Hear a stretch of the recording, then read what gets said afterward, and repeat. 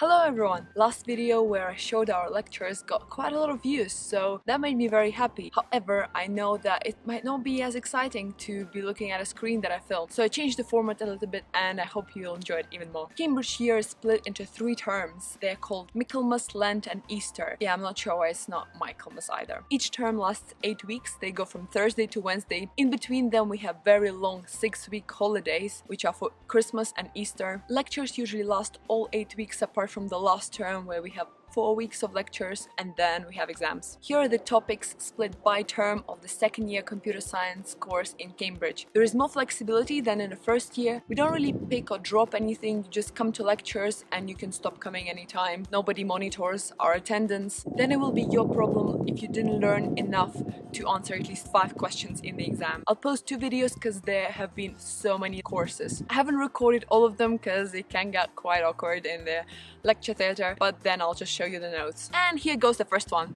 Graphics course was 16 lectures and 4 supervisions. At the start of each lecture we would be shown some animation from Pixar or Disney or a movie that used some cool technology. We covered things like digital images, lighting and color, uh, how human vision works, rendering pipeline, various algorithms and image processing.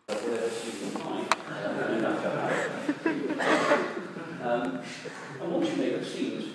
interesting, people start looking at the uh, marginal quality of the animation. Um,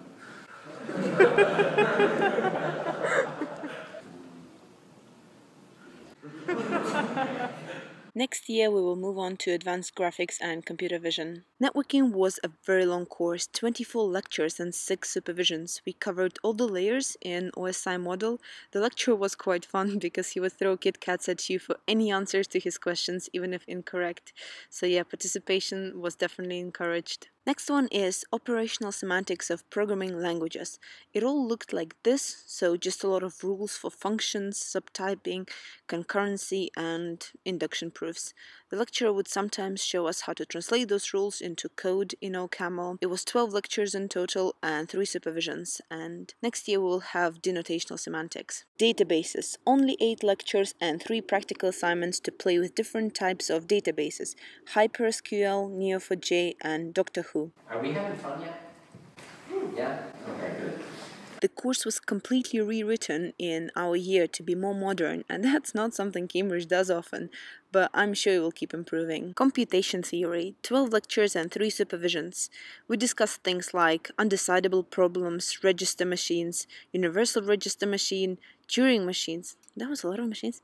Um, Church Turing thesis, lambda calculus, and primitive and partial recursion. Complexity theory was also 12 lectures. It was a course about understanding the difficulty of certain problems, and it was building on computation theory course.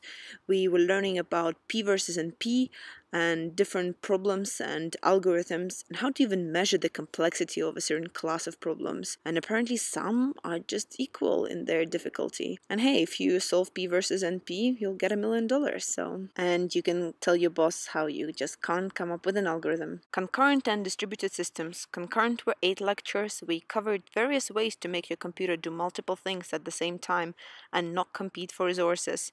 We looked at concepts like mutual exclusion, conditional synchronization, multi-threading, resource allocation, deadlock, and transactions.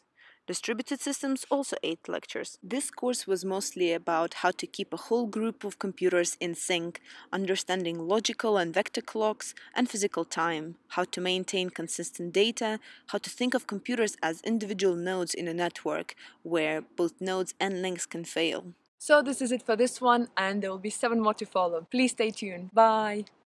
If you didn't have enough courses. Are you kidding? Oh yeah, thank you. Support! I'm so paranoid, honestly.